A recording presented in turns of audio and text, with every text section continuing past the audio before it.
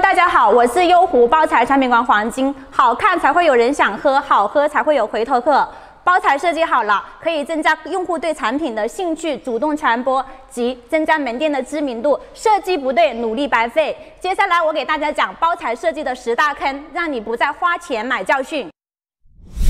冷饮杯是我们奶茶店用的最多的包材，但有时候 logo 颜色与奶茶颜色相近，无法突出我们的 logo。这个时候，我们可以给我们的 logo 加一个底色，但是前提是 logo 的底色与我们的文字要有明显的、鲜明的一个对比，这样子才可以突出我们整个 logo。或者是说我们在选择颜色的时候，可以选择黑色、红色、蓝色作为我们的一个底色，这样它与我们的饮品也会有一个鲜明的对比，这样我们整个 logo 才会有更好的一个突出和展示。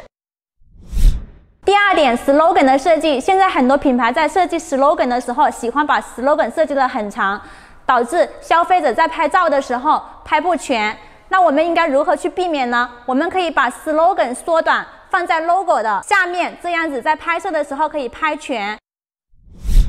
纸杯是除了冷饮杯外用的最多的杯子，但很多人在设计的时候忽略了我们纸杯的优势，只是简单的做一个 logo 的设计，没有去做其他更多的元素。纸杯装上饮品之后是看不到里面的产品的，所以这个时候我们应该发挥纸杯的优势。纸杯的优势有哪些呢？它可以不限印刷范围，不限我们的颜色印刷，所以这个时候应该发挥纸杯的优势，可以设计与店铺相符合的元素和颜色，让更多的消费者被它的美去吸引传。播拍照打卡，就如中国风的茶颜悦色。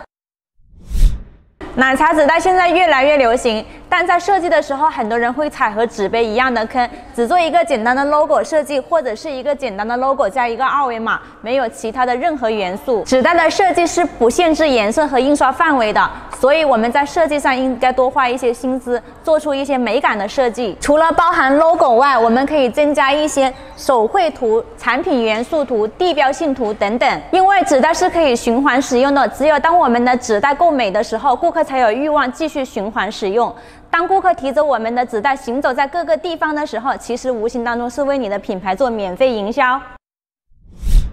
很多品牌在设计胶带的时候会做五颜六色的设计，这样不仅会增加我们的成本，而且在装上我们的奶茶饮料之后，无法突出我们的品牌 logo。以我十年的包装经验告诉大家，在设计胶带的时候，我建议只做一个单黑色的印刷，这样不仅我们的成本会降低，而且在装上我们的奶茶之后，顾客提着在路上行走的时候，无形当中是在为我们的品牌做免费广告，因为这样子可以呈现我们整个 logo 的突出。杯套现在很多人在设计的时候都会受到局限性，还是中规中矩的做设计，无法突出特色化。所以，异形杯套的诞生可以突出品牌的文化性，可以玩抒情文案，与顾客产生更多的互动性。各种好看好玩的杯套，大家都会有想拍照打卡的想法。这样的传播就是在增加你品牌的知名度。现在部分品牌在用吸管的时候会采用这种纸包无印刷的吸管。但是要做好更多的细节化，我建议是在我们的品牌外包装上做我们的一个 logo 印刷，这样不仅能提升我们的品牌力，而且整个细节也会做得很好。印刷和不印刷的，它在成本上相差不是特别的大，但是它可以让我们的品牌提升更高的几个档次。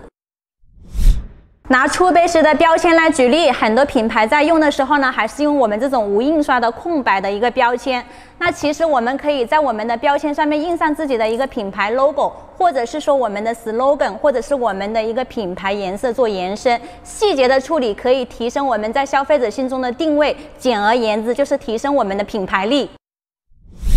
各种异形瓶的出现，让很多品牌增加了营业额，因为它好看又好玩。但是很多品牌没有在我们的瓶子上印上自己的品牌 logo，即使顾客打卡传播也是无效传播。我们应该在瓶子上印上自己的品牌 logo，这样的传播就是有效传播。但是在印 logo 的时候，选择颜色的印刷也要选择对。看，这个是反面案例，看这个是正面案例。所以我们在选择颜色的时候，最好是选择金色，因为它更能突出瓶子的高级感，也能突出品牌的高级感。看这个瓶子装上饮品号好看吗？现在各大媒体平台的博主和个人分享奶茶打卡最多的是各类特色异形瓶，瓶子对于消费者来说，它深受喜爱，因为它有吸引力、有美感，所以它的曝光度和分享是最多的。用上特色异形瓶，可以无形当中为你的店铺带来更多免费传播，让你的品牌曝光度增加。了解更多特色异形瓶或者包材上遇到什么问题，可以随时和我我们联系，我们将一一为你解答。